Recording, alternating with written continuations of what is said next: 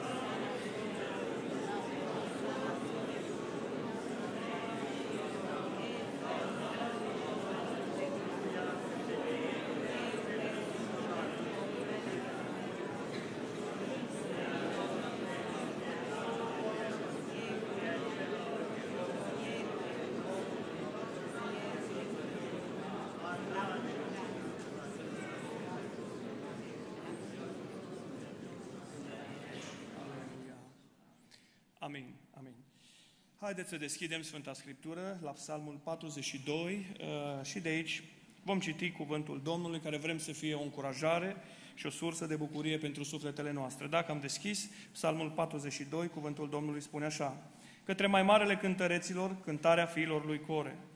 Cum dorește un cerb zvoarele de apă, așa te dorește sufletul meu pe tine, Dumnezeule. Sufletul meu însetează după Dumnezeu, după Dumnezeu cel viu. Când mă voi duce, când mă voi duce și mă voi arăta înaintea lui Dumnezeu. Cu lacrimi mă hrănesc zi și noapte, când mi se zice fără încetare, unde este Dumnezeul tău? Mi-aduc aminte și învărs tot focul inimii în mine, când mă gândesc cum mergeam înconjurat de mulțime și cum înaintam în fruntea ei spre casa lui Dumnezeu, în mijlocul strigătelor de bucurie și mulțumire ale unei mulțimi în sărbătoare. Pentru ce te mâhnești, suflete și gemi în lăuntrul meu? Nădăjduiește în Dumnezeu, că iarăși îl voi lăuda. El este mântuirea mea și Dumnezeul meu. Mi-este măhnit sufletul în mine, Dumnezeule, de aceea la Tine mă gândesc din țara Iordanului, din Hermon și din muntele Mițear. Un val cheamă un alt val, la vuietul căderii apelor Tale. Toate talazurile și valurile Tale trec peste mine. Ziua, Domnul îmi dădea îndurarea Lui, iar noaptea cântam laudele Lui și înălțam o rugăciune Dumnezeului vieții mele. De aceea zic lui Dumnezeu, stânca mea, pentru ce mă uiți? Pentru ce trebuie să umblu plin de întristare sub apăsarea vrășmașului? Parcă mi se sfărâmă oasele cu sabia când mă bagiocoresc vrășmașii mei și îmi zic neîncetat, unde este Dumnezeul tău? Pentru ce te mâhnești, suflete și gemi, în lăuntrul meu? Nădăjduiește în Dumnezeu, căci iarăși îl voi lăuda. El este mântuirea mea și Dumnezeul meu. Amin. Vă invit să reocupăm locurile și vom lăuda pe Domnul dintr-o cântare.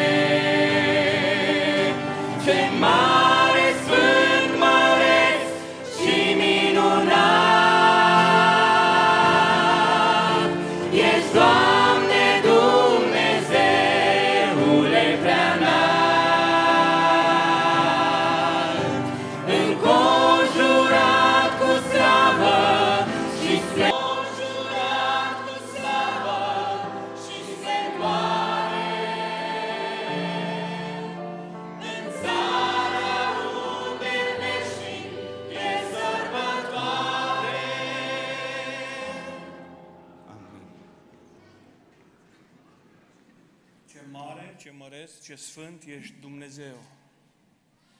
Uitați-vă ce spune aici psalmistul, cum dorește un cer bizvoarele de apă. Este această metaforă, omul și-a exprimat tânjirea lui după Dumnezeu, asociind sau asemănând acea sete lăuntrică după Dumnezeu cu acea sete a cerbului care caută însetat izvorul curat, limpede din pădure. E atât de cald afară și e atât de bine când bei o gură de apă și o apă curată și o apă limpede și o apă care te răcorește. Și uh, autorul psalmului are, are această tânjire după Dumnezeu. Și cred că fiecare dintre noi în această seară ne putem evalua pe noi înșine.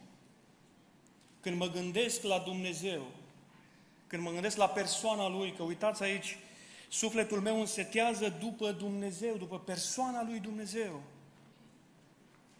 Și mă întreb și poate e bine să ne întrebăm fiecare dintre noi în această seară. Oare mai însetăm după Dumnezeu? Oare sufletul nostru mai tânjește după Dumnezeu? Domnul să ne ajute la aceasta. Uitați-vă ce trăire are omul acesta, spune aici, cu lacrimi mă hrănesc zi și noapte. Nu doar joia, nu doar duminica, ci zi și noapte. E acea frământare lăuntrică a omului care îl caută pe Dumnezeu.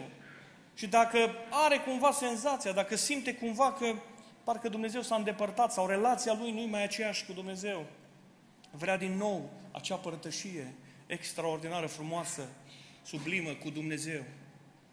Apoi spune aici, mi-aduc aminte și învărs focul inimii. De multe ori, cum ne rugăm? Cum sunt cântările noastre? Cum este închinarea noastră? Mai avem un foc al inimii? Domnul să-l aprindă în seara aceasta. Și am vrea în această rugăciune pe care vrem să o facem în continuare, să ne rugăm, Doamne, dacă ne vezi că poate unii dintre noi suntem căldicei, vrem din nou să ne trezim la adevărata viață cu Tine. Doamne, mai mult decât uh, garanția faptului că îmi vei da case, că îmi vei da un viitor, că mă vei binecuvânta, că mă vei vindeca, dincolo de toate aceste binecuvântări, omul acesta avea o preocupare și aceea să se întâlnească cu Dumnezeul lui. Cea mai mare bogăție și cea mai mare avere pe care poți să o ai este părtășia ta nemijlocită cu Dumnezeul care te iubește și te-a răscumpărat, slăvit să fie numele Lui.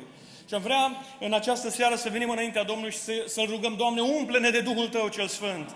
Doamne, dacă, dacă văd în inima mea că poate sunt căldicel, văd o apatie, văd poate o indiferență în viața mea, Dumnezeule, vreau din nou să simt cu adevărat prezența Ta. Doamne, poate nu mă mai mișcă. Uitați-vă aici, spune, El plânge când cineva zice, nu-L mai văd pe Dumnezeu în viața Ta. Unde este Dumnezeul Tău?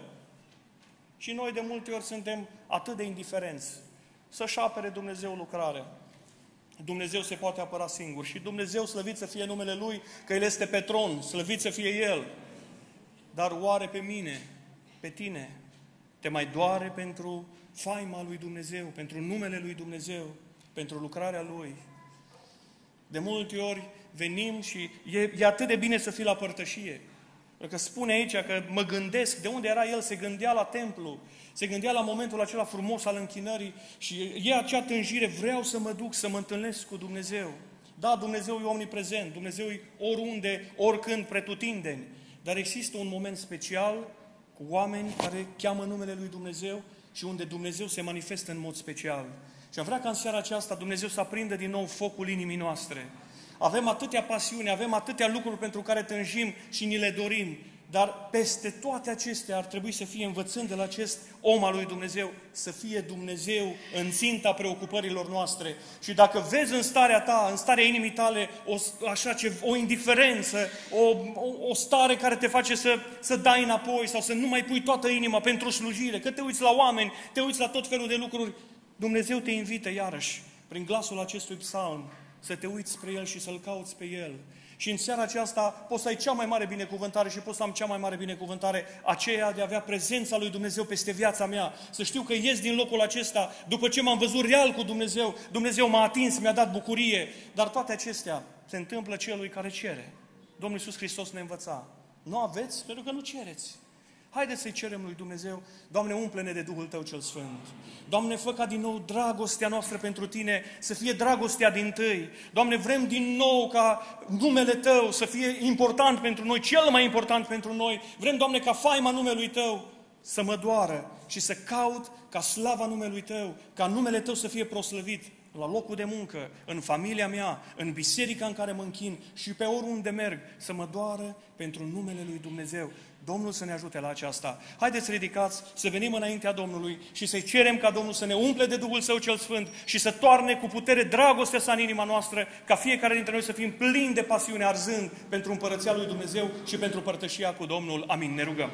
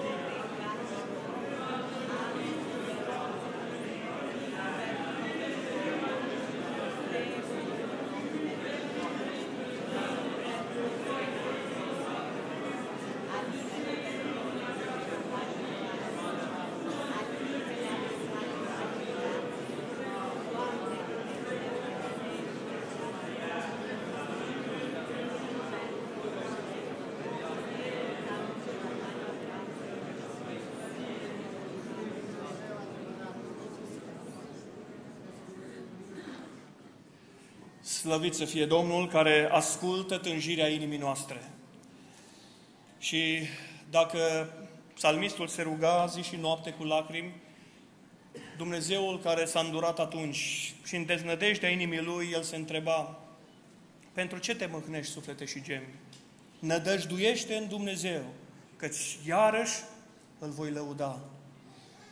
Vrem să rostim această binecuvântare a lui Dumnezeu peste cei care au scris în nădejdea aceasta că Dumnezeu este Cel ce izbăvește, în nădejdea că încă o dată Dumnezeu își va face lucrarea și cei care poate astăzi, astăzi plâng, îl vor lăuda cu lacrimi de bucurie. Și noi avem un Dumnezeu care are această putere slăvit să fie numele Lui. Sunt atâtea cauze care s-au scris, cauze de boală, în care frați de-ai noștri strigă după ajutorul lui Dumnezeu și noi credem că orice cerem în numele Domnului Iisus Hristos, El ne dă slăvit să fie numele Lui. Ne rugăm uh, pentru familia Măreț, care uh, sunt în vârstă, sunt undeva departe și uh, au exprimat această dorință ca Biserica Elin biserica lor din care fac parte să mijlocească și Dumnezeu să le dea binecuvântare și ușurare în, în necazurile și în starea pe care o au. Este aici cineva care a avut un accident pe o șină de tren. Dumnezeu să lucreze și să dea biruință. Sunt și frați, scriu aici frați pentru surori care sunt grav bolnavi și au încrederea aceasta că Dumnezeu are ultimul cuvânt.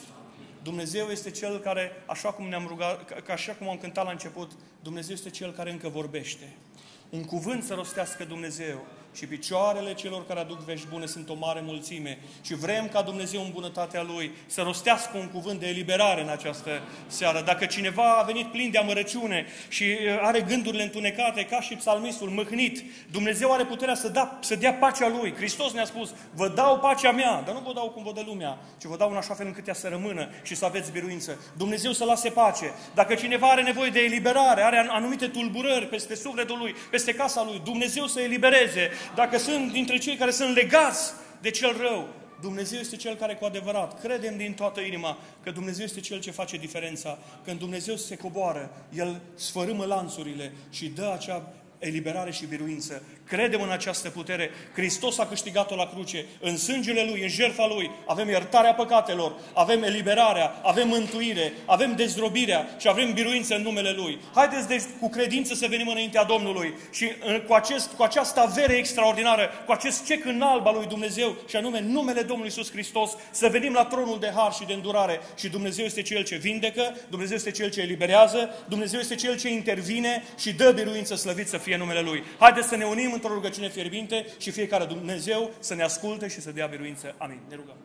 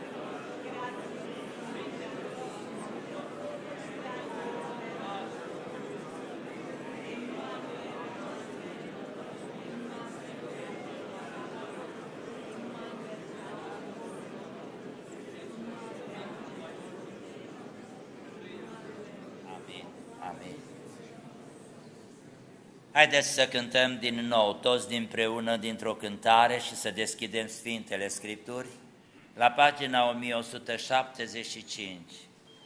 Cartea Evrei, capitolul 2, de aici vom cita primele patru versete, după ce mai întâi lăudăm pe Domnul cu toată inima, pentru că vrednic este Domnul, să aducem închinarea, lauda și mulțumirea pentru tot ceea ce El este pentru noi. Cântăm!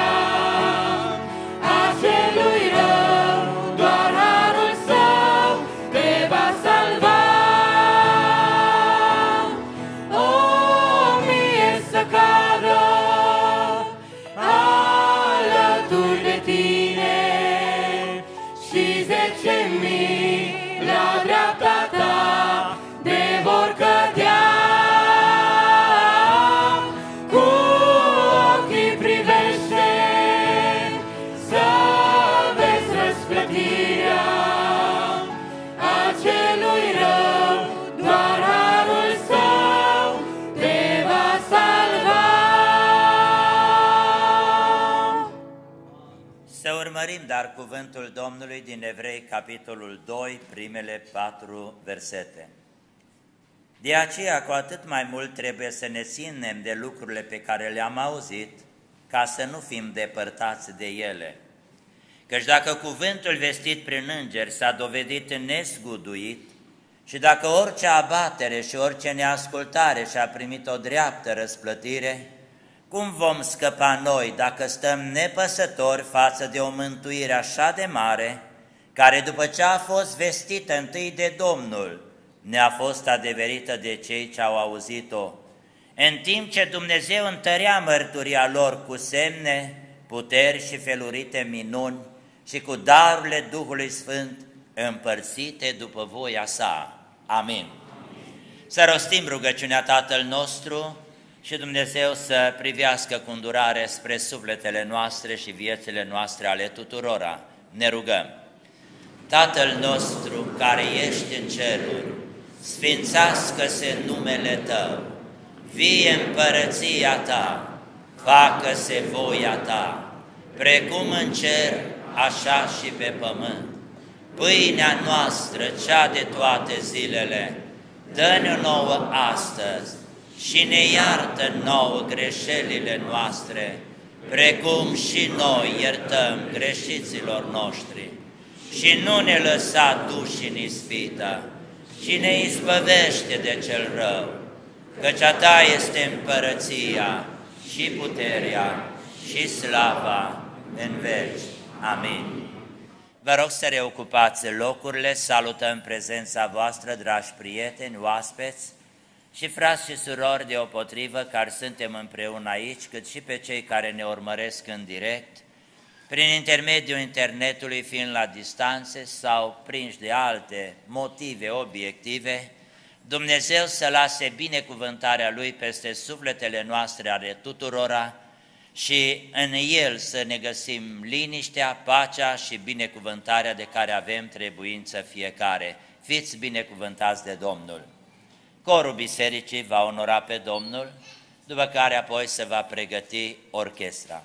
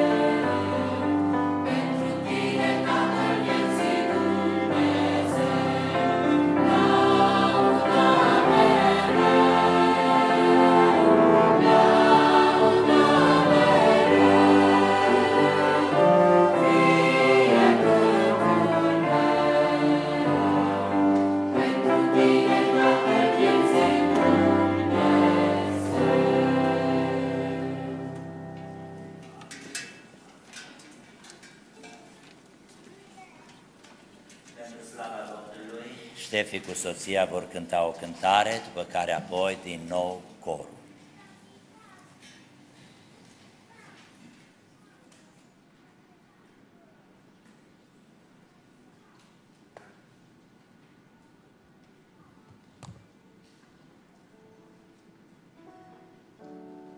Slăvit să fie Domnul!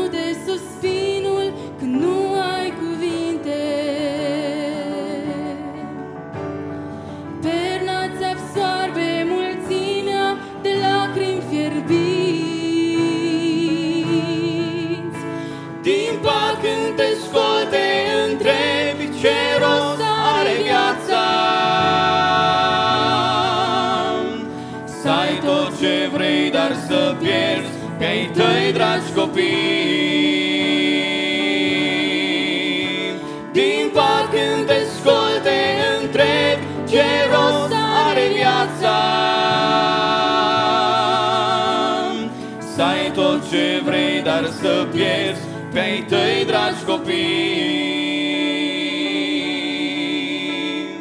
Singur eu nu te-am lăsat, când tu plângeai, eu plângeam. Astăzi îți spun, nu te teme, răspuns vei primi.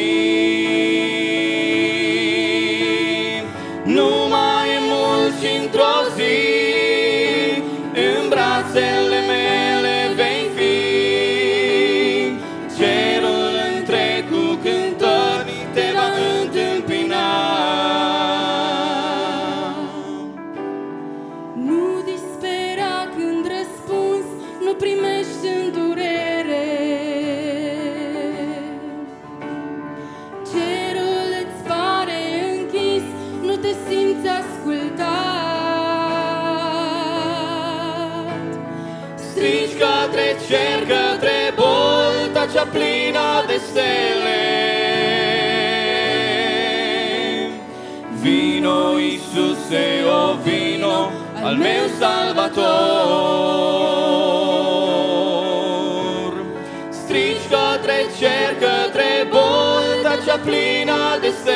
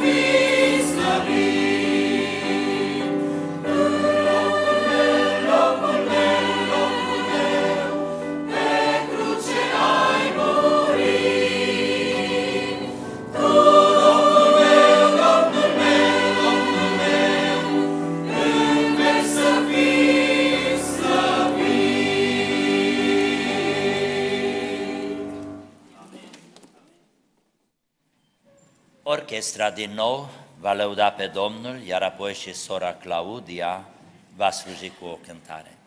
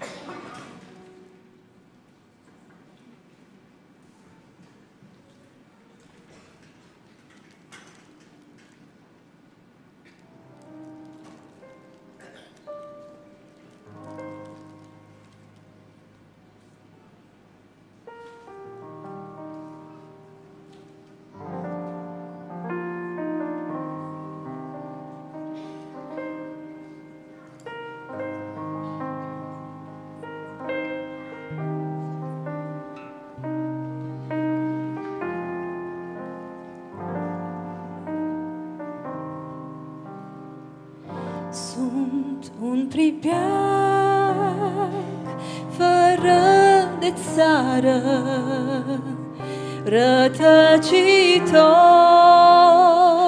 prin lung pustii. Dar am în ceruri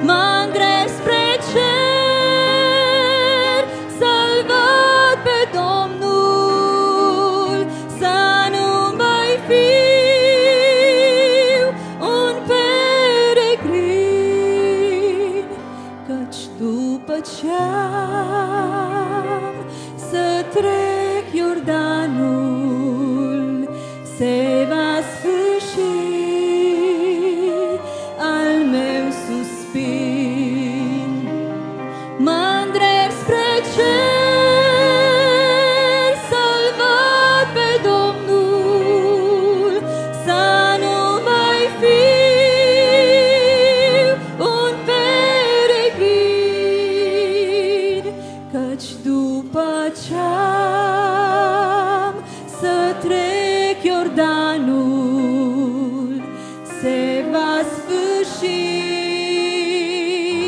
al meu suspin. Amin. Prin fratele Mehedinț cerem binecuvântarea Domnului peste noi privind închinarea cu darurile de bunăvoie. Pregătim o cântare în comun și în timpul cântării are loc colecta din această după masă. Ne închinăm înaintea Ta, Tatăl nostru, și binecuvântăm numele Tău. Îți mulțumim pentru prilejul acesta de a fi aici. Îți mulțumim că Tu ești aici și primești închinarea noastră. Acum dorim să ne închinăm cu darurile de bunăvoie. Te rog, ai Binecuvintează, Doamne, venitul fiecăruia. Binecuvintează pe cei lipsiți și nevoiași. Doamne, te rugăm să ne dai înțelepciune ca să căutăm mai întâi împărăția Ta. Te rugăm, Doamne, să ne binecuvintezi în continuare în ascultarea cuvântului Tău. Cu o inimă deschisă, lasă Duhul Tău cel Sfânt să lucreze. Îți mulțumim și binecuvântăm numele Tău în veci. Amin.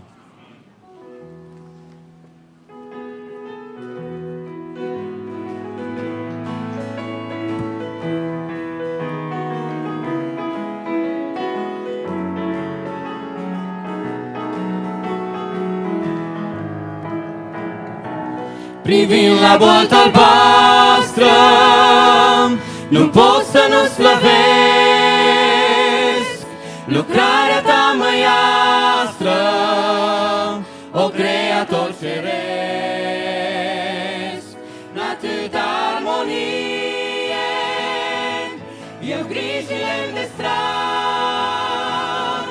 și plin de bucurie, cu dragoste exclam, ești cel mai frumos și nimeni nu-i ca tine. Îți cântă florile, cel mai frumos, ești cel mai frumos, măreț și înălțat, prin tot ce ai creat, ești, Doamne, minunat, ești cel mai frumos. De atâta măreție,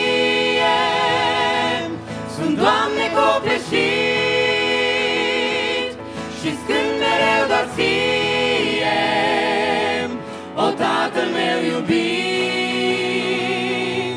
Când razele de soare, zâmbind îmi bat în geam,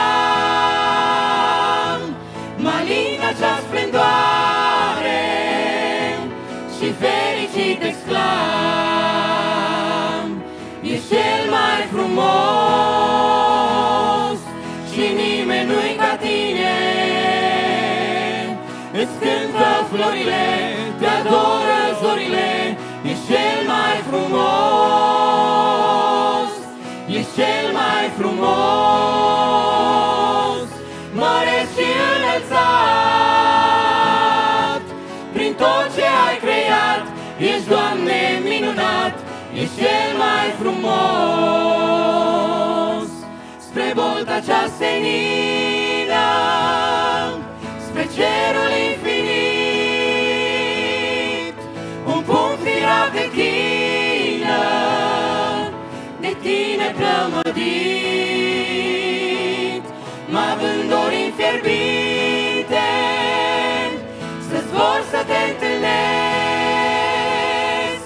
pe tine, drag părinte, și-n taină să-ți șoptesc. Ești cel mai frumos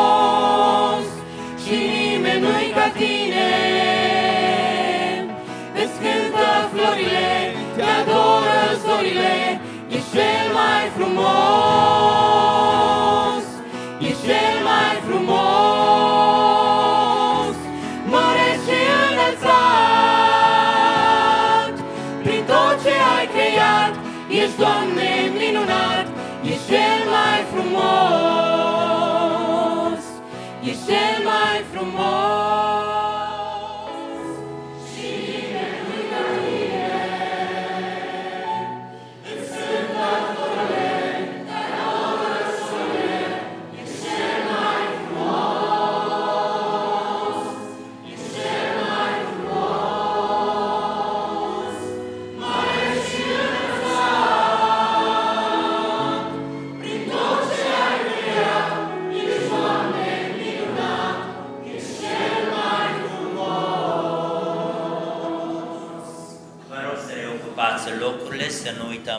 Seară, deși este vineri, de la ora 18 vom avea un timp de rugăciune. Pentru că duminică dimineața, după ceasul rugăciunii, avem cina Domnului, respectiv de la 9 la 10 rugăciune, iar de la 10 la 12 serviciu special al împărtășaniei. Iar după masă, duminică, ora 18, din nou vom avea serviciu divin. Acum ascultăm cuvântul Domnului, rostit prin fratele Flavius Nopcea.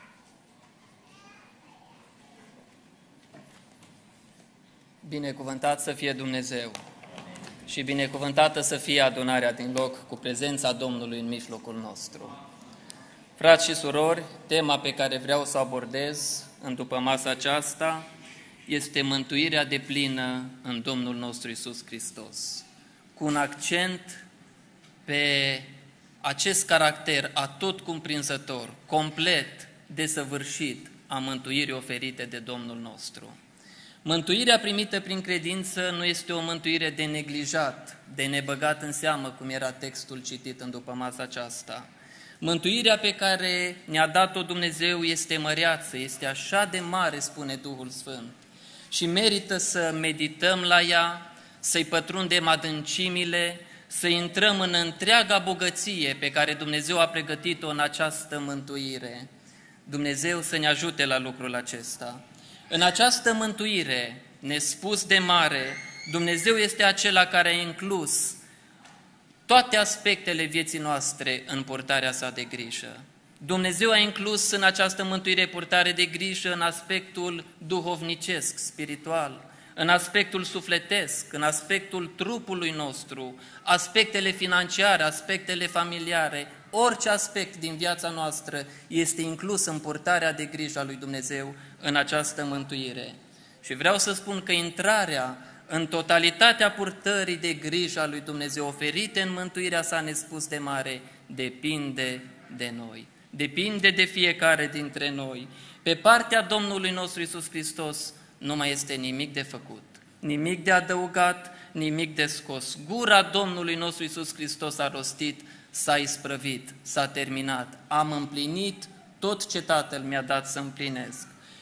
Și mulți dintre noi, dacă îmi permiteți această comparație, când vine vorba de intrarea în binecuvântările lui Dumnezeu, de intrarea în purtarea de grijă a lui Dumnezeu oferită în mântuirea sa, alegem să trăim într-o colibă în loc de palat. Și nu mă refer aici, frați și surori, la partea financiară, la partea materială. Aș dori să nu fim aceia care limităm mântuirea lui Dumnezeu doar la această etapă a iertării greșelilor, a iertării păcatelor. Pentru mulți dintre noi, mântuirea este sinonimă cu iertarea păcatelor, dar mântuirea lui Dumnezeu cuprinde mult mai mult și înseamnă mult mai mult decât iertarea păcatelor. Apostolul Pavel în Efeseni, în capitolul 3, versetul 18, înălța o rugăciune în dreptul credincioșilor și Apostolul Pavel exprimă această dorință fierbinte a inimii lui și spune, vreau să ajungeți maturi din punct de vedere spiritual, să fiți în stare să pricepeți împreună cu toți sfinții care sunt lărgimea, lungimea, adâncimea și înălțimea acestei mântuiri. Și dacă este să continui această metaforă a palatului, odată intrați în această mântuire, în această casă grandioasă a mântuirii, intrăm în ea și privim lărgimea ei, privim în stânga și privim în dreapta și nu putem să vedem capătul. Apoi ne uităm înainte și ochii noștri nu pot să vadă lungimea. Și privim în jos și ne ridicăm ochii în sus. Și vedem că mântuirea aceasta trece de înălțimea cerului. Așa este mântuirea lui Dumnezeu. Mântuirea lui Dumnezeu, dragii mei, nu are limite.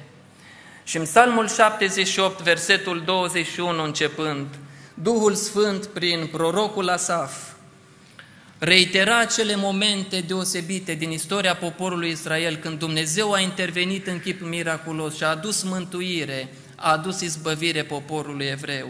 Dar poporul evreu, acești oameni, datorită necredinței lor, datorită nepăsării lor, sunt aceia care l-au supărat pe Dumnezeu și Biblia folosește cuvinte grele.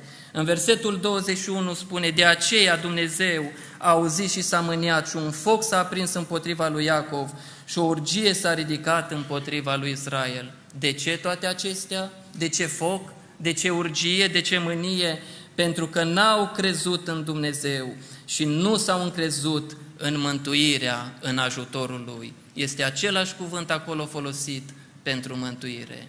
N-au crezut, au nesocotit această mântuire. Și în versetul 41 mai jos, în același psalm, spune, da, n-au încetat să ispitească pe Dumnezeu și să întărâte pe Sfântul lui Israel.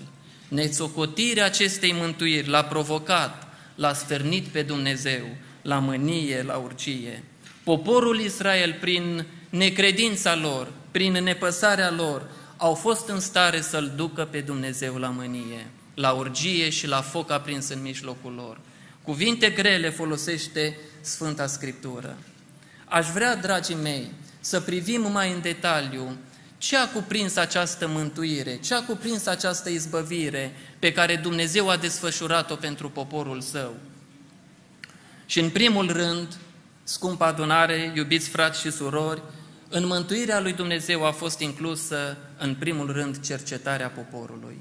După ce Dumnezeu se descoperă lui Moise, lui Aron, după ce aceștia doi sunt trimiși la poporul Israel, după ce îi fac acele minuni, toiagul acela care se transformă în șarpe, mâna care se umple de lepră, Cuvântul lui Dumnezeu ne spune că poporul a crezut. Exod 4 cu 31, poporul a crezut, astfel au aflat că Domnul cercetase pe copiii lui Israel, că le văzuse suferința și s-au aplecat și s-au aruncat cu fața la pământ. Dumnezeu este acela care a luat inițiativa în mântuire. De la El a pornit izbăvirea. El este acela care a inițiat procesul mântuirii. Și în viața fiecăruia dintre noi, Dumnezeu are întâietatea, El are inițiativa, El este acela care pune în gândul fiecăruia dintre noi dorința aceasta lăuntrică de a-L căuta pe Dumnezeu.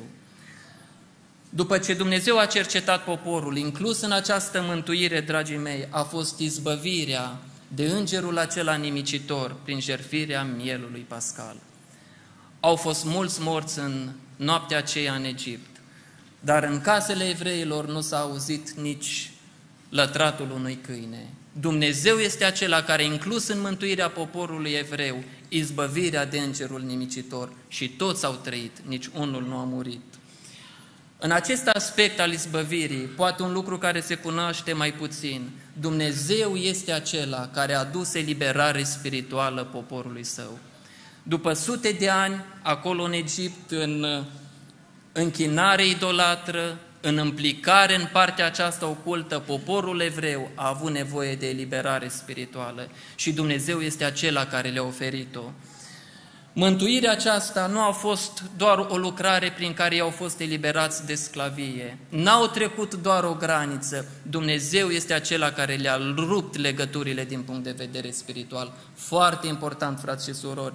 Cuvântul lui Dumnezeu în Psalmul 107, începând cu versetul 14, descrie așa de frumos această eliberare.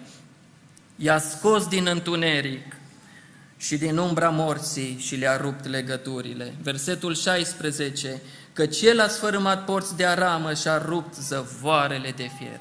A fost nevoie de intervenție spirituală. Au fost acolo legături spirituale asupra poporului evreu pe care Dumnezeu le-a rupt.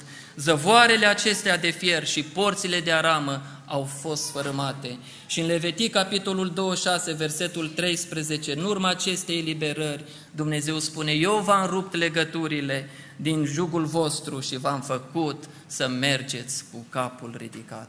Ce frumoasă este această izbăvire spirituală pe care Dumnezeu le-a oferit-o. În mântuirea, în ajutorul lui Dumnezeu, Dumnezeu a inclus eliberare spirituală.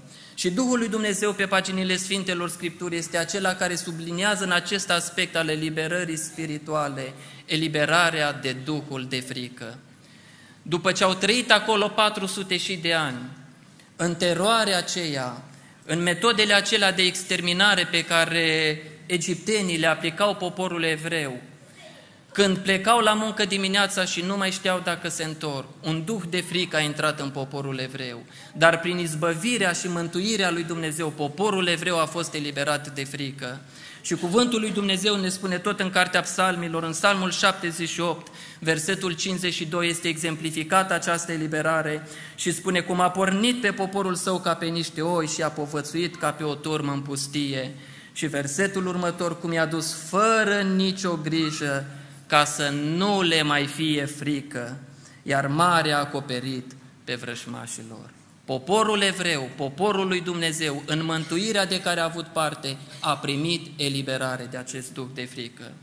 Și când vorbim de această eliberare spirituală, îmi place să folosesc această expresie. Jefuitorul a ajuns să fie jefuit. Cine este jefuitorul? este diavolul. Cine l-a jefuit? Domnul nostru Isus Hristos. Și aș vrea să ne uităm în Sfânta Scriptură, unde este prezentat acest adevăr. În primul rând, anunțarea acestei lucrări de eliberare, Psalmul 35, versetul 10. Împăratul David anunța o zi și spune, va veni o zi când voi striga cu toată puterea mea, toate oasele mele vor zice, Doamne, cine poate ca Tine să scape pe cel nenorocit de unul mai tare decât El, pe cel nenorocit și sărac, de cel cel jefuiește. Cel nenorocit este neamul omenesc, aflat sub talpa vrăjmașului, aflat sub apăsarea și sub opresiunea vrăjmașului, care nu face altceva decât să-l jefuiască. Diavolul de la început a fost un criminal și n-a venit decât să fure, să junghe, să prăpădească și să jefuiască. Și pentru 400 de ani, poporul lui Dumnezeu a fost șefuit și bagiocorit de diavolul, dar a intervenit Dumnezeu și a pus capăt. Exodul, capitolul 3, versetul 22, prezintă răsturnarea situației. Cuvântul lui Dumnezeu, vorbind poporul evreu, a spus, fiecare femeie va cere de la vecina ei și de la cea care locuiește în casa ei vase de argint, vase de aur și haine pe care le veți pune pe fiii și fiicele voastre și veți jefui astfel pe egipteni. Cel care jefuiește și astăzi neamul omenesc este diavolul. Dar Biblia ne spune că a venit unul mai tare decât el, Domnul nostru Isus Hristos, mărit să fie numele Lui, care l-a jefuit pe diavolul și prin mântuirea glorioasă de la Golgota, frați și surori, jaful a încetat. Domnul Isus i-a pus capăt. Haideți să vedem lucrul acesta așa de frumos exemplificat în cuvintele Domnului nostru Isus Hristos în Evanghelii, în Evanghelia după Luca, capitolul 11, versetul 22, Domnul Isus prezintă acest lucru, Luca 11 cu 22, începând cu versetul 21 chiar, când omul cel tare și bine înarmat își păzește casa, averile îi sunt la adăpost.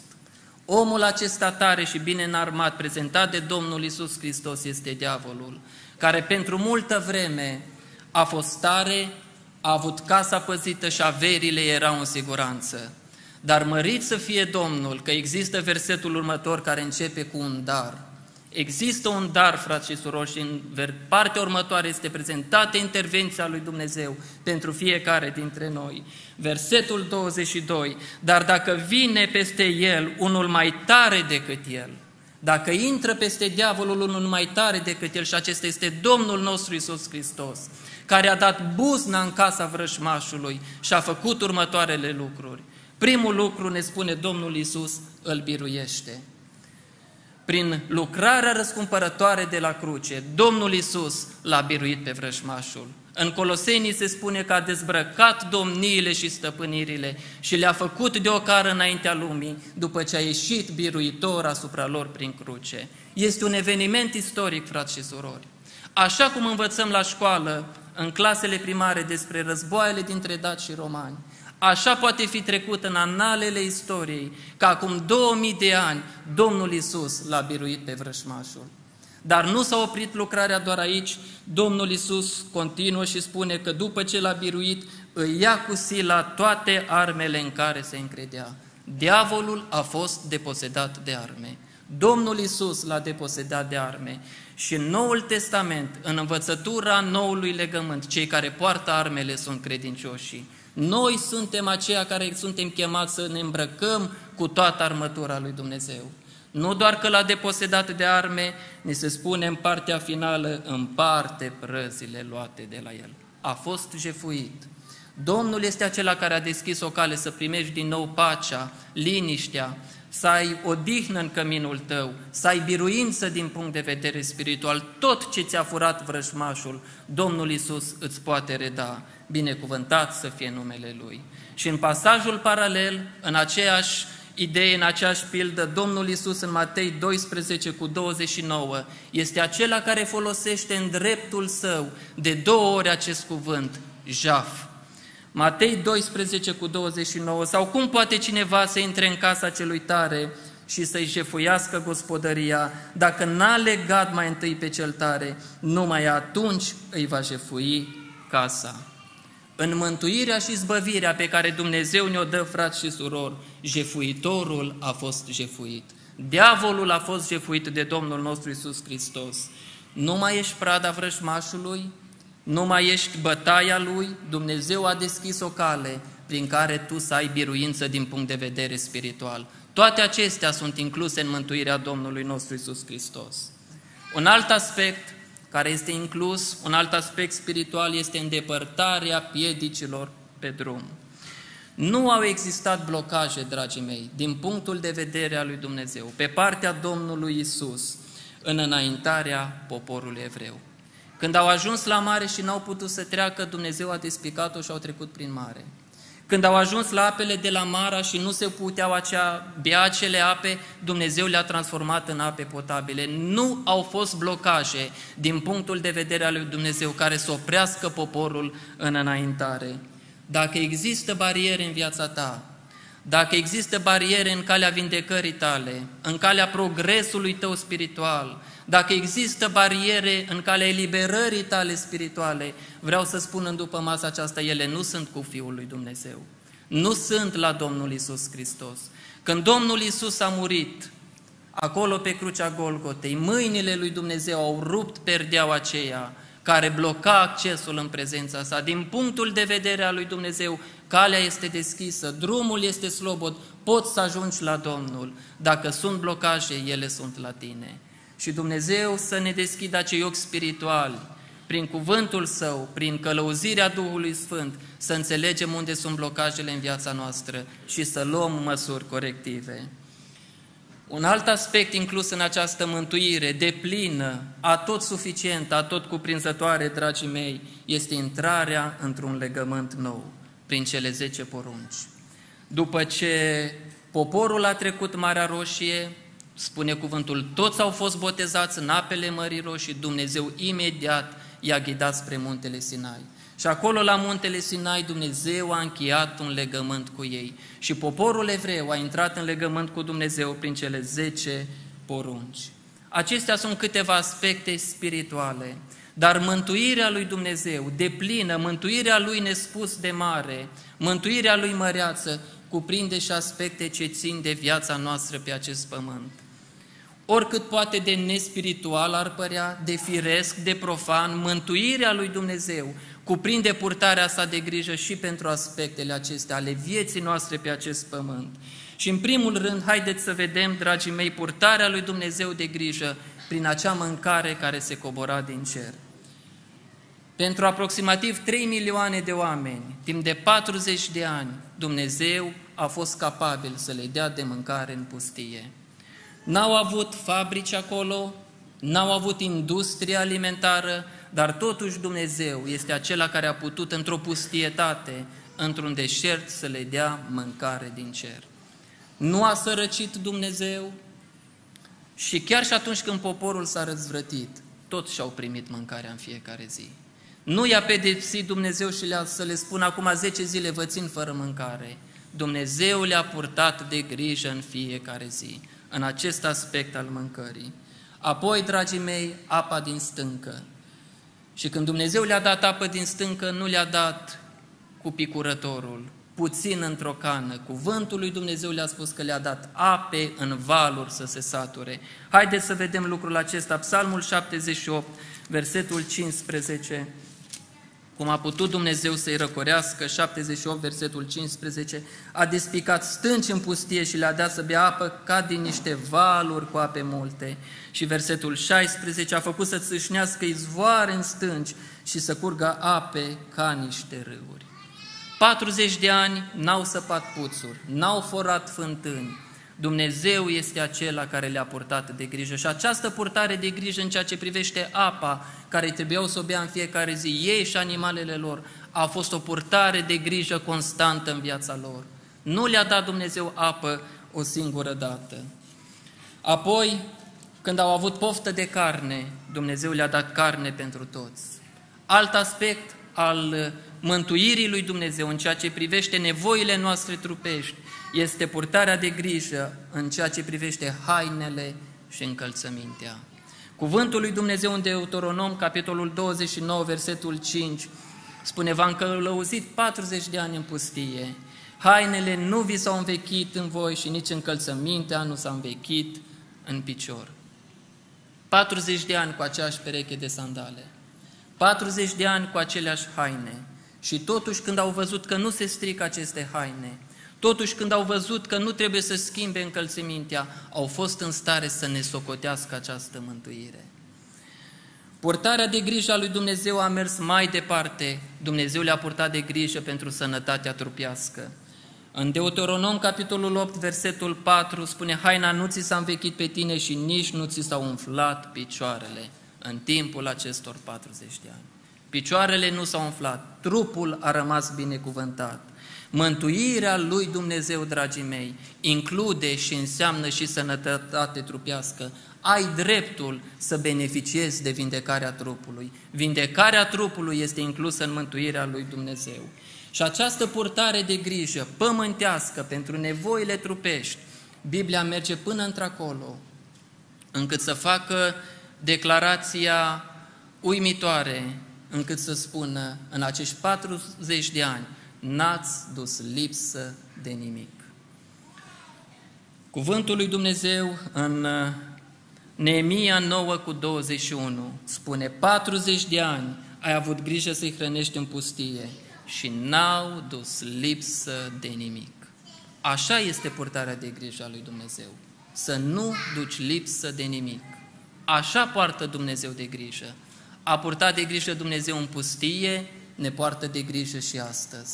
Și există un episod similar în Noul Testament când Domnul Isus își cheamă ucenicii după ce îi trimite în lucrare, după ce îi trimite în câmpul Evangheliei și ei se întorc și Domnul Isus se întreabă, când v-am trimis fără pungă, fără traistă și fără încălțăminte, ați dus voi lipsă de ceva? Și ce răspund ucenicii? De nimic, Doamne. Acum, dragii mei, dacă suntem firești, dacă suntem neduhovnicești, am putea spune, Doamne, cum ai și îndrăzneala să întrebi așa ceva? Ne-ai trimis fără încălțăminte, ne-ai trimis fără traistă, n-am avut unde să punem o pâine, ne-ai trimis fără pungă, cum să nu ducem lipsă? Am dus lipsă, Doamne. Însă omul duhovnicesc, omul acela care stă aproape de Dumnezeu, înțelege că purtarea de grijă a lui Dumnezeu, în primul rând, dragii mei, este o purtare de grijă îndreptată, direcționată înspre împlinirea planurilor lui Dumnezeu și nu spre satisfacerea neapărat a nevoilor și a dorințelor noastre. Omul duhovnicesc poate să spună, nu duc lipsă de nimic, chiar dacă vine cu bicicleta la biserică. Pe când omul firesc care nu stă aproape de Dumnezeu, care nu este în planurile lui Dumnezeu, care nu-i trimis, care nu se întoarce din lucrare, se plânge mereu. Doamne, mașina nu-i bună, ar trebui să o schimb. Apartamentul, poate și casa e prea mică, aș vrea să am una mai mare. Și vei găsi motiv mereu să te plângi. Dar asta denotă faptul că ești un om firesc. Omul duhovnicesc poate să fie în voia lui Dumnezeu și să spună nu duc lipsă de nimic, chiar dacă nu am încălțăminte în picioare. Dumnezeu să ne dea această perspectivă duhovnicească a slujirii înaintea lui Dumnezeu. Alt aspect al vieții de pe acest pământ care a fost inclus în această mântuire, în această izbăvire, este binecuvântarea muncii. Dumnezeu a binecuvântat ceea ce ei au lucrat acolo 40 de ani în pustie. Deuteronom, capitolul 2, versetul 7, căci Domnul Dumnezeul tău te-a binecuvântat în tot lucrul mâinilor tale. În acești 40 de ani și ți-a cunoscut călătoria în această mare pustie. Iată că de 40 de ani de când Domnul Dumnezeul tău este cu tine, n-ai dus lipsă de nimic.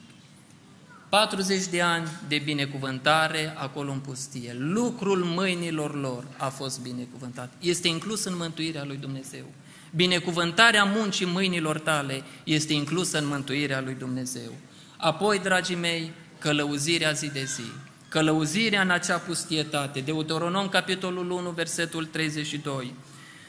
Cu toate acestea, voi nu ați avut încredere în Domnul Dumnezeul vostru, care mergea înaintea voastră pe drum ca să vă caute un loc de poposire. Iată călăuzirea lui Dumnezeu. Merg înaintea voastră. Am să vă spun, aici e bine de poposit. Aici e un loc potrivit. Sunt cu voi, vreau să vă călăuzesc. Și Exod 13 cu 21, Domnul mergea înaintea lor. Ziua într-un stâlp de nor, noaptea într-un stâlp de foc. Și este părerea mea personală că Dumnezeul care a mers cu ei, acolo 40 de ani în pustie, este a doua persoană a Dumnezeirii, Domnul nostru Isus Hristos. De aceeași călăuzire avem și noi astăzi, prin călăuzirea cuvântului lui Dumnezeu și călăuzirea Duhului Sfânt care a venit să locuiască în noi. Iată că Dumnezeu, 40 de ani, a stat în mijlocul taberei. Ni se spune că ziua era un stâlp de nor, să nu-i bată arșița, să nu facă insolațiile de la căldurile acelea. Dumnezeu a fost cu ei, n-au avut arsuri de piele, n-au făcut cancer de piele, Dumnezeu i-a binecuvântat. Noaptea era un stâlp de foc care îi încălzea, N-aveau trecerile acelea bruște de temperatură să li se îmbolnăvească copiii. Dumnezeu a fost atent în cel mai mic detaliu în această mântuire pe care le-a oferit-o. Noaptea vă acopăr, ziua vă acopăr cu umbra mea și noaptea vă încălzesc și vă dau lumină. Binecuvântat să fie Dumnezeu. Apoi, dragii mei, a fost și prezența lui Dumnezeu fizică acolo în Sfânta Sfintelor. În cortul acela care s-a construit, prezența lui Dumnezeu s-a coborât, slava lui Dumnezeu a locuit în mijlocul taberei lui Israel. Poporul de asemenea a primit și oficiul de slujire al Marelui Preot, care se apropie de Dumnezeu și care se reprezinte înaintea lui Dumnezeu. Și în nou legământ, și noi suntem aceia care avem un mare preot. Marele nostru preot nu este un om, este Domnul nostru Isus Hristos. Binecuvântat să fie Domnul. Dragii mei, jertfa Domnului nostru Isus Hristos, mântuirea pe care El ne-a oferit-o este desăvârșită, este perfectă, este completă, nimic nu mai trebuie adăugat la ea, nimic nu mai trebuie scos. Și aș vrea în minutele următoare să facem diferența între ceea ce înseamnă nașterea din nou și mântuirea. Nașterea din nou, dragii mei, reprezintă o experiență unică, un eveniment singular în viața omului. Domnul Isus a spus în Ioan 1 cu 11 despre Domnul Isus se spune că a venit la ai săi și ai săi nu l-au primit. Dar tuturor celor ce l-au primit, adică celor ce cred în numele Lui, le-a dat dreptul sau autoritatea să se facă copii ai lui Dumnezeu. Ai autoritate prin credința în Dumnezeu să te faci copil al lui Dumnezeu. Și de tine depinde cât vei beneficia din bogăția mântuirii oferită în Domnul nostru Isus Hristos. Ai autoritate, dar dacă nu o folosești, ea nu-ți va aduce niciun beneficiu. În nașterea din nou, primești viață din Dumnezeu. Și mi-aduc aminte de acel episod după învierea Domnului Isus, când se arată ucenicilor, se apropie de fiecare dintre ei și suflă peste ei și spune, luați Duh Sfânt, luați viață din Dumnezeu, o viață care a biruit mormântul, care a biruit păcatul, care a biruit iadul, care l-a biruit pe diavolul.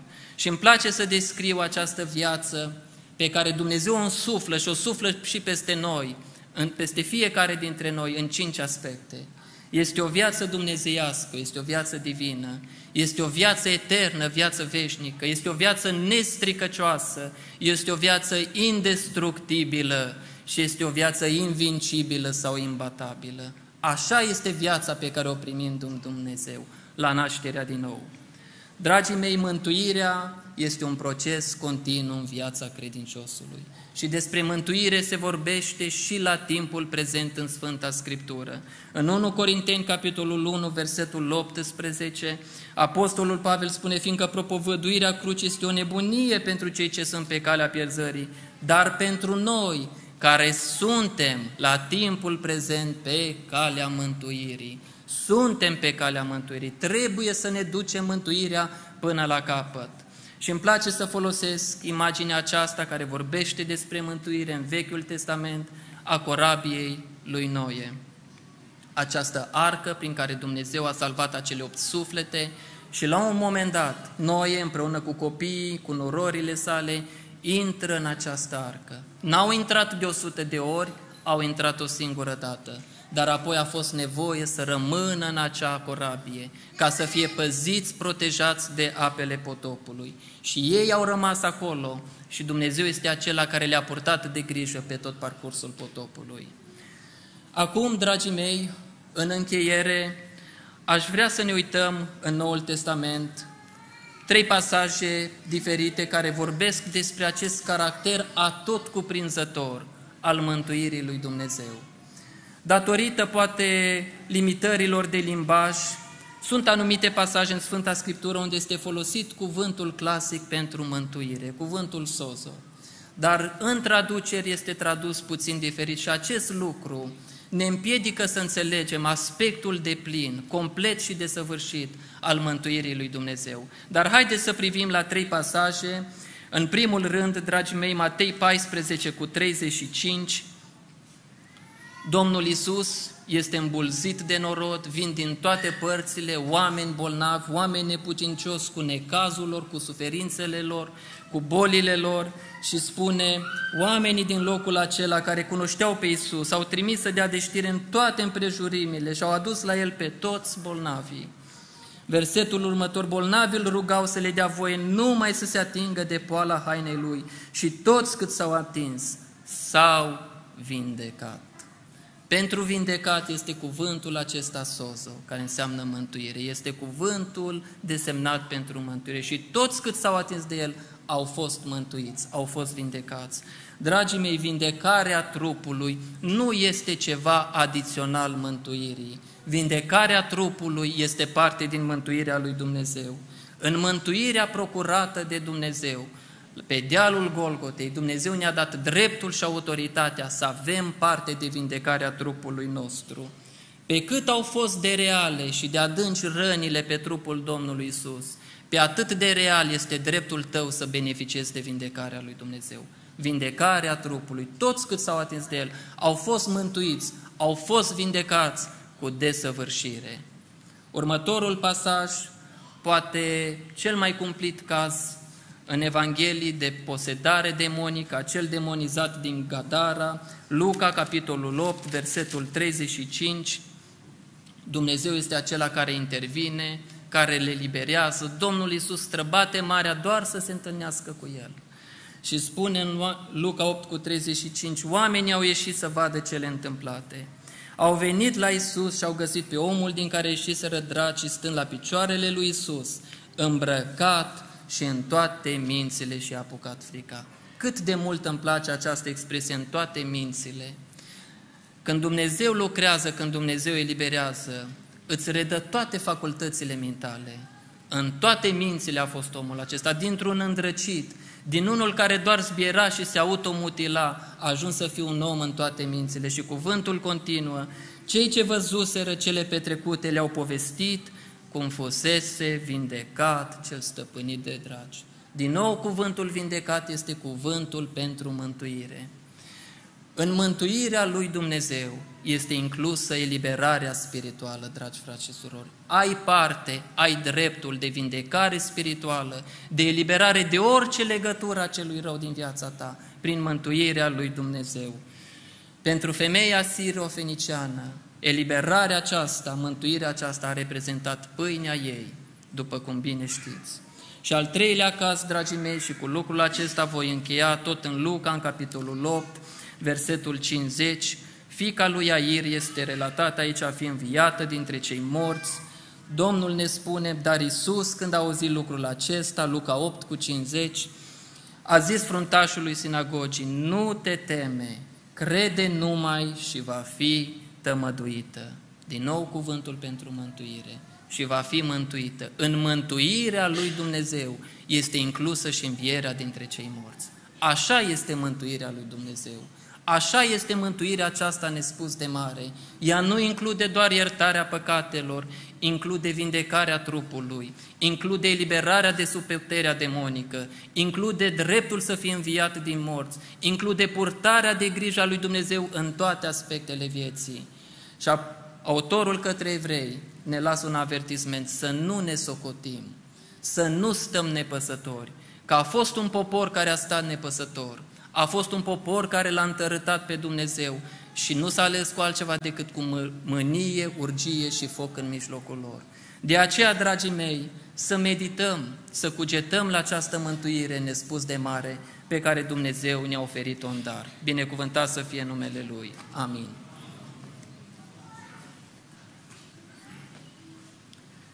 Haideți să ne ridicăm să cântăm dintr-o cântare vreo două strofe, să le cântăm noi toți cei prezenți aici și apoi din nou vom fi cei care vom mai rămâne lângă cuvântul Domnului pentru minutele care le mai avem la dispoziție. Vom cânta.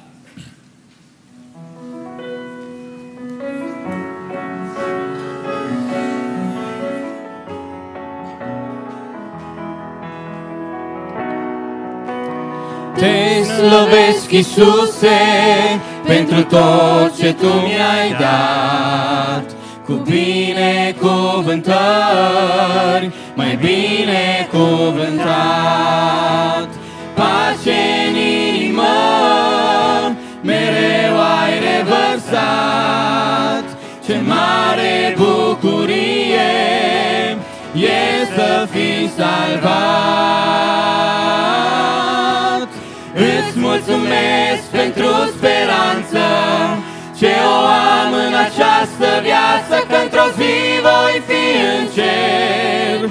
Unde lacrimile pierd Și te voi vedea în față Voi vedea slava măreață. Îți mulțumesc Îți mulțumesc Mărire ție, Doamne, mărire ție în veci. Știu că de la mine nici când nu ai să pleci. Primește mulțumirea ce acum eu ți-o aduc. Îți mulțumesc, o Doamne, Tu milă ai avut.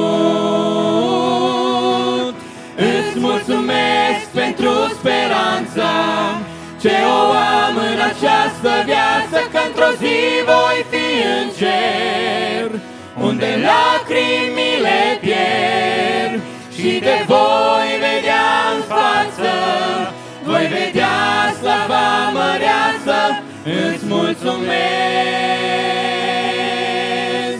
îți mulțumesc,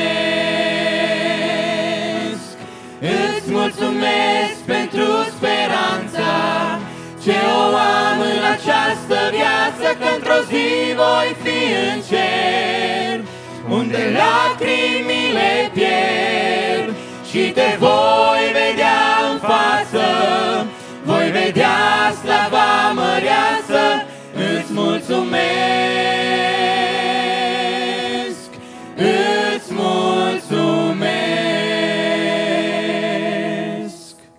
să reocupați locurile.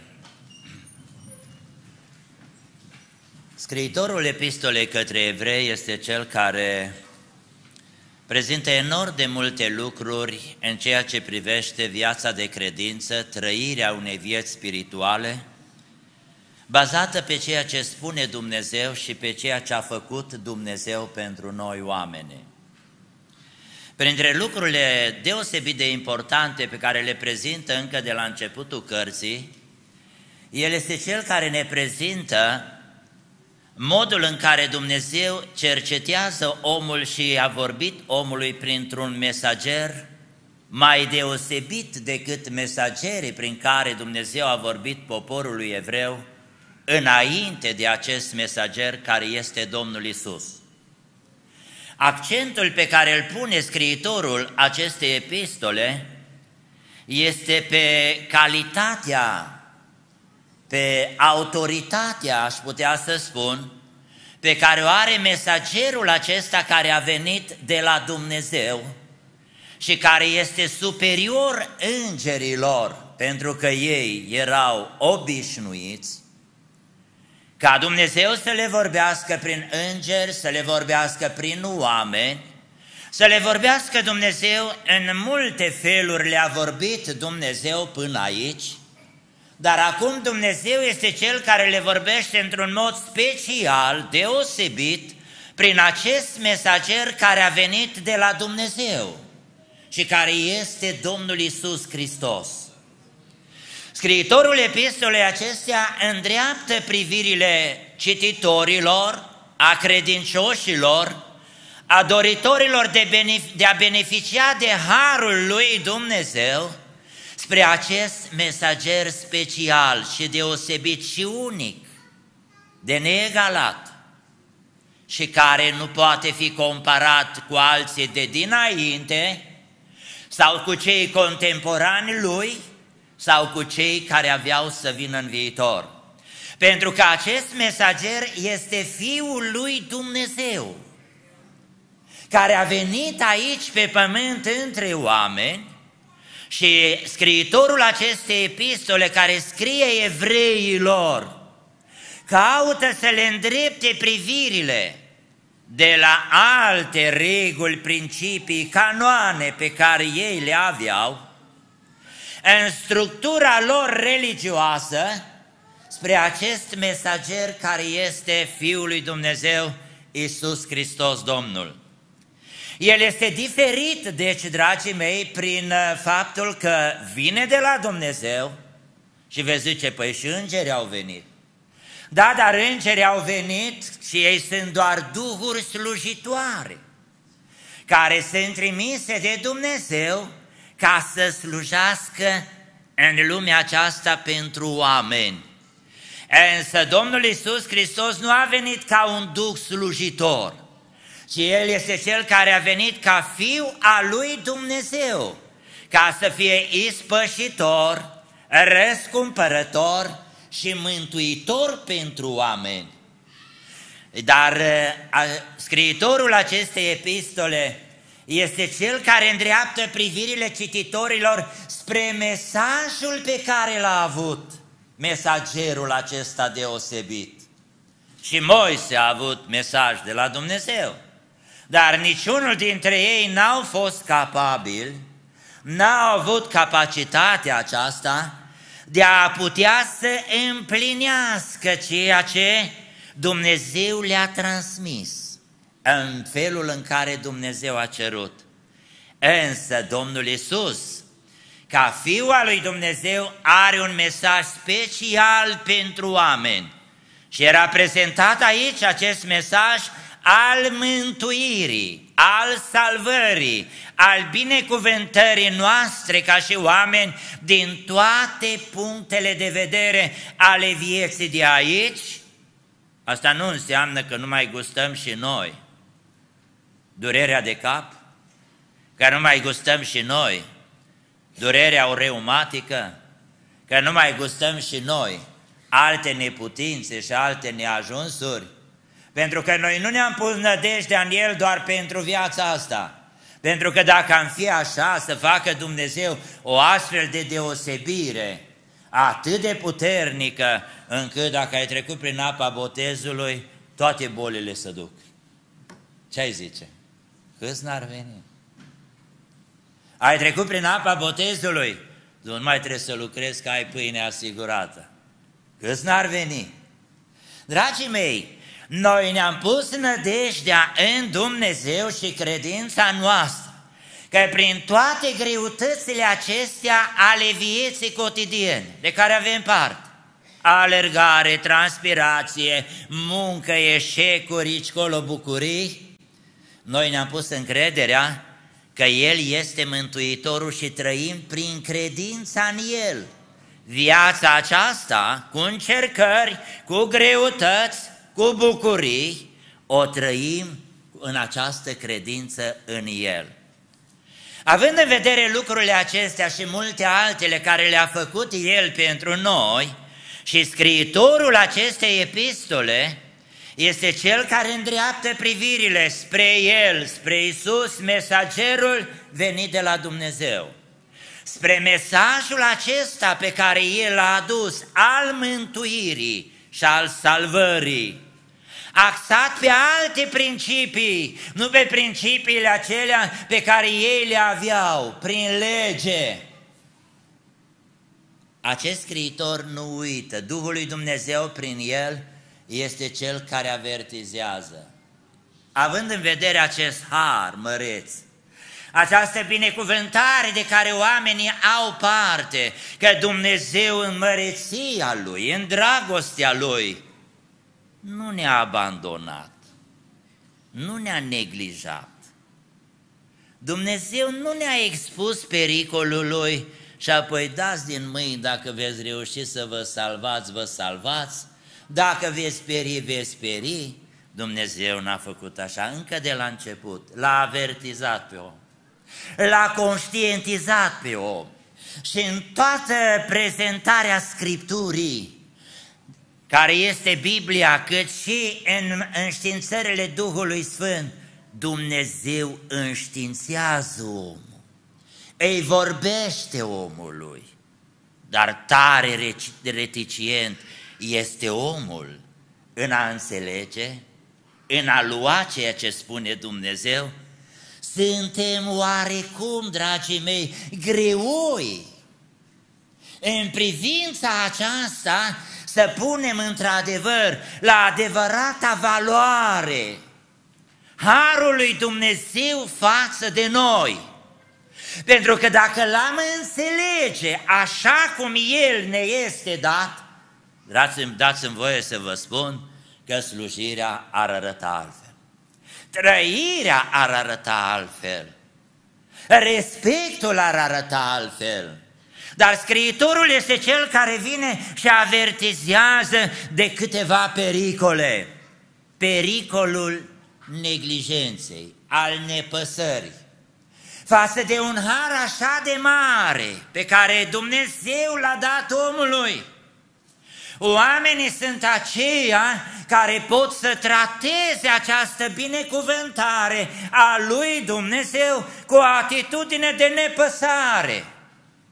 De a nu lua în seamă lucrul acesta. De a socoti că este doar o teorie că este doar o poveste, să spun așa, că este doar o relatare întocmită de mintea omului, întreaga lucrare pe care Scriptura o arată, deși vedem că Biblia este cuvântul lui Dumnezeu, care s-a împlinit, se împlinește și se va împlini în tocmai. Slăvit să fie Domnul pentru asta! Nu putem neglija. Nu ar trebui să neglijăm. Dar este pericolul acesta, de aceea scriitorul vine și spune și avertizează în privința aceasta. Neglijența, nepăsarea, tratarea cu indiferență este un mare păcat. Este o atitudine complet greșită și cei care tratează în felul acesta nu beneficiază de acest har al lui Dumnezeu, de această binecuvântare a Lui. Dar mai sunt câteva, vreau să mai amintesc două pericole în privința aceasta. Este pericolul acesta al uh, rutinei. În ceea ce privește modul în care noi luăm cuvântul lui Dumnezeu. Avertismentele pe care El ni le transmite. Deși vremurile acestea sunt pline de trompete care răsună puternic, despre ceea ce Biblia spune că va fi în vremurile din urmă și că trăim ceasul de pe urmă, frații mei. Însă există pe lângă pericolul acesta al nepăsării, al adormirii spirituale, pericolul rutinei, în care este așa o obișnuință. Și în virtutea obișnuinței suntem cei care facem anumite lucrări în spiritul acesta al cadenței dobândite de-a lungul anilor. Predicăm în felul acesta, cântăm din rutină, ne rugăm din rutină și ne cuprinde vălul acesta și știți cum e rutina asta? Ca rugină. Cât e metalul ăla de, de, de puternic, oțel? Dar dacă este expus intemperiilor și nu este protejat, el este cel care corodează, prinde rugina în el și îl mănâncă. Încet, încet, devine nefolositor. Până și ferarul betonist în betonul care construiește o grindă sau un planșeu sau o casă, vei vedea că nu bagă fier ruginit. Că e pericol, bănuiesc eu, nu sunt inginer în rezistență a materialelor, n-am studiat, dar bănuiesc că rugina aia și acolo, în învelișul ăla de beton sau în ce este așezat, ea lucrează, corodează slăbește rezistența acelui material, a oțelului respectiv. Dragii mei, așa este rutina, slujirea din rutină. De aceea noi aici la Elen și tare îmi place când văd așa cât și simt starea spirituală, să rupem rândurile cum era la armată. Și zicea, după ce era așa o stare din aceea de, de, de, de eu știu, instrucție, zicea, rupe rândurile. Și atunci fiecare, unii în stânga, alții în dreapta, dar rupeau rândurile și se, se întâmpla ceva. Asta este nevoie uneori și la noi, dragii mei, în slujirea noastră. Să nu lăsăm rutina, să nu lăsăm starea asta a obișnuinței să fie cea care să ne caracterizeze, că ne prinde rugina. Și nu mai avem valoarea care ar trebui să o avem în slujire dacă ne prinde starea aceasta de rugină, starea aceasta de rutină. Dar mai este un pericol – este pericolul acesta al ceremonialului. O slujire pentru Dumnezeu ceremonială, bazată pe ritual, bazată, Domnule, pe ceva care îi sta, stabilit de ani de zile și așa ne ducem în ritmul acesta, că asta este matricea noastră spirituală. Dragii mei, Putem să cădem în starea aceea, îi judecăm pe nepăsători? Putem să avem o atitudine față de aceia care sunt, poate, și zicem, e rutină, domnule, e doar o rutină. Mersul la biserică, rugăciunea aia de așa. Dragii mei, și noi să fim cuprinși de o evlavie, de o trăire spirituală bazată pe ceremonial, pe ritual. Scump frați și surori, Biblia în pasajul acesta ne avertizează în această privință, în ace- de aceste pericole. De aceea slujirea noastră în concluzie trebuie să fie o slujire din dragoste pentru El. O slujire în care la bază stă faptul că noi am înțeles, am crezut ceea ce a făcut El pentru noi. Am înțeles și suntem, și am, suntem cei care am uh, conștientizat că depindem de El. Haleluia! Depindem de El în toată slujirea noastră, în toată activismul nostru spiritual, noi depindem de El, de Domnul Isus. Mărire Lui pentru asta.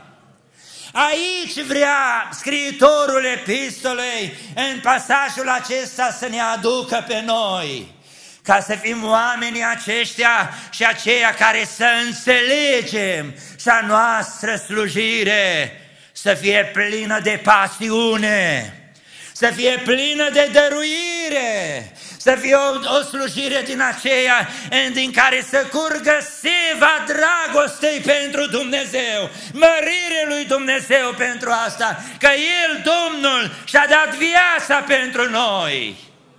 Dragii mei, este nevoie să ajungem să înțelegem acest lucru, pentru că dacă am înțeles ceea ce a făcut El pentru noi, nu-ți va fi greu să-L iubești. Dacă oamenii ar înțelege și ar crede, citind Biblia, ascultând predici, și ar ajunge să înțeleagă ceea ce a făcut Dumnezeu pentru noi, bisericile întâi și apoi lumea ar fi schimbată. Dar pentru că omenirea e prinsă de nepăsare, de rutină și de ceremonial, este starea aceasta între oameni, cre- în, în biserici și în viața oamenilor.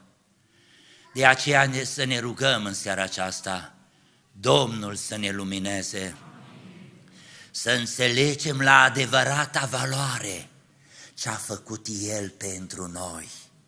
Și când vom înțelege acest lucru, vom fi aceia, dragii mei, care vom fi într-o trăire mult mai profundă, mai dedicată. Și slujirea noastră nu va fi o slujire forțată, ci va fi o slujire pentru că am înțeles ce a făcut și ne dăm seama că El merită, că El este vrednic, că Lui trebuie să-i aducem închinarea, că pe El trebuie să fie mărturisit, că El este Cel care a făcut totul pentru noi, iar noi suntem cei care din dragoste, înțelegând ce a făcut, ne dăm seama că El merită, slăvit să fie numele Lui. Dar nu numai că El merită pentru ceea ce a făcut, dar știți voi, frații mei și surori și dragi ascultători, că El ne cere lucrul acesta. Ne cere lucrul acesta. Dumnezeu să ne dea putere să înțelegem aceste minunate adevăruri și să nu neglijăm darul lui Dumnezeu. Să nu ne socotim mântuirea lui Dumnezeu. Să fim oameni înțelepți și pricepuți și să lăsăm ca dragostea noastră pentru El să fie aceea care să ne poarte, să ne ridice, să ne înalțe și să trăim o viață binecuvântată. Dumnezeu să ne binecuvinteze ca tot ceea ce facem pentru El să facem din dragoste. Pentru că El a făcut din dragoste pentru noi mult mai mult decât putem noi face pentru El. Slăvit să fie numele Lui. Vă invit să ne ridicăm și să aducem înaintea Domnului starea noastră personală, împreună cu rugăciunea ca Domnul să ne dea înțelepciunea și puterea de a sluji lui Dumnezeu cu toată dăruirea noastră, iar apoi în final să mulțumim lui Dumnezeu. Amin. Amin.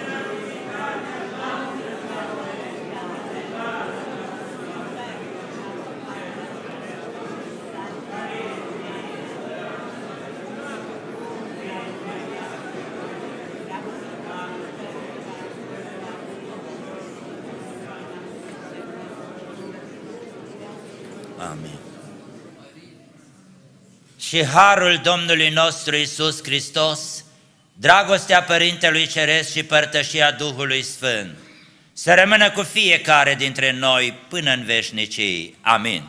Vă rog să mai ocupați locurile doar pentru câteva clipe.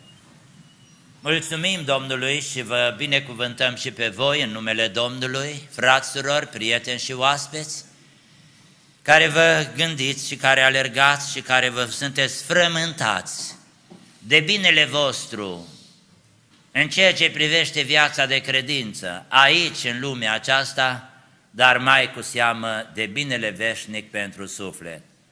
Vă felicităm pentru atitudinea aceasta de căutare, de aprofundare, de apropiere de Dumnezeu, dar plecând de aici și plecând cu al Domnului cuvânt în inimă, să avem grijă cum ne purtăm, să avem grijă cum vorbim, să avem grijă ceea ce manifestăm.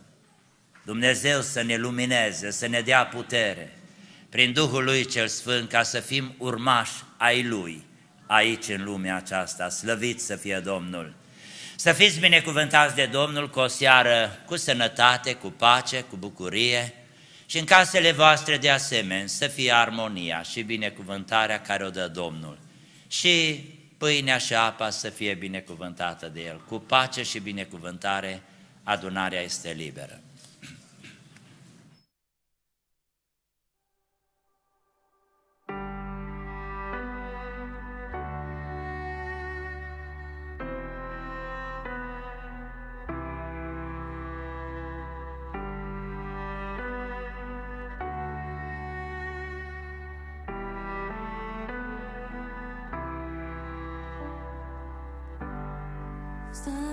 present